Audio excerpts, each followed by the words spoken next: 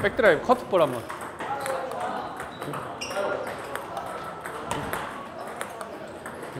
이것도 아직 들리죠?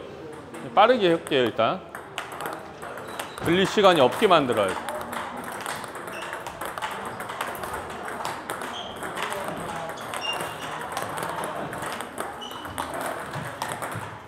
들리기 직전에 잡아야 되니까 조금만 반동을 그렇죠 그렇죠 네.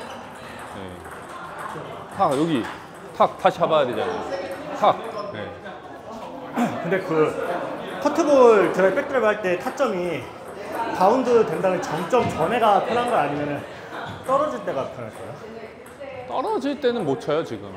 뒤로 완전 물러나야지 지금 공이. 짧은 거는 떨어지는 건데. 그러니까 오히려 정점보다 그 전에 친게더 편하게 쳤어요. 더 편하게 치죠 근데 이제 거리를 어디에 두냐에 따라인데 커트하고 근데 대부분 뭐 짧은 커트 싸움 하다가는 물러나야 된단 말이에요. 그거는 이제 정점이 되는데 이제 스톱. 그쵸.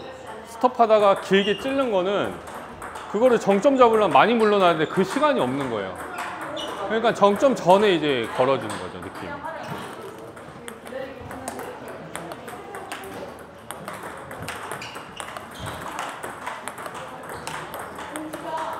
그래서 이렇게 되고 이렇게 되면은 더 빨리 치셔야 돼요 더 빨리. 예.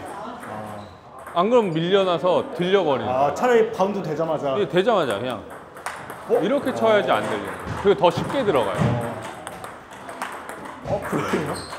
오히려 더 커트가 아직 덜, 덜 풀렸을 거라 생각하고 최대한 늦춘 다음에 하려고 많이 했는데 이거는 늦추면은 그때 이제 밀리는 구간으로 공이 붙기 때문에 들, 들지 않으면 네, 걸리는 거예요. 이렇게. 그리고 또 로프되면 네, 그때는 들어야 되는 거죠 이제. 만약에 밀렸으면은. 근데 이걸 이 상황을 이미 여기서 봤으면은 그냥 거기서 따닥으로 건다고 생각하시면 돼요 빠른 막차로. 그냥 쭉 민다. 네, 오히려 이렇게. 오히려. 네.